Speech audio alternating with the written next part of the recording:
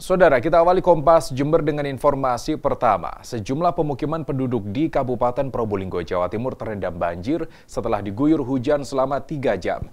Banjir juga merendam jalur Pantura sehingga jalan raya arah Probolinggo, Situbondo lumpuh.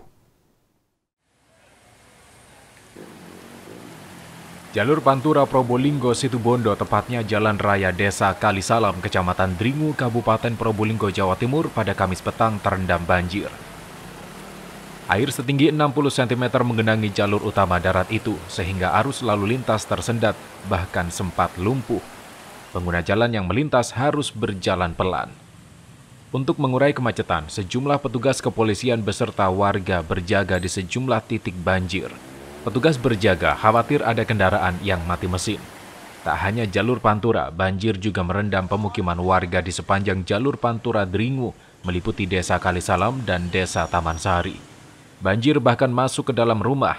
Banjir ini terjadi setelah hujan turun lalu sungai meluap. Ya sering terjadi banjir di sini. Oh, dari mana ini airnya? Dari sungai. Hmm, sawah juga itu ya? Iya dari sungai. Daerah anu itu apa jadi hujan pasti ke sini yes. Masuk sampai segini. Kalau jadi tembang gini tak kayak anu. Hujan berapa jam sih bu tadi bu? Mulai jam 2 lebih. Oh, mulai jam 2 siang mulai ya? jam 2 ya. Banjir di kawasan ini merupakan kali pertama sepanjang tahun 2021. Ya, kita tetap memperlancar dan mencari titik-titik yang di ketinggian agar mobil tidak terjerumus ke bau jalan ya? Kedalaman, iya. Ah. Hari ini terbesar ini hujannya.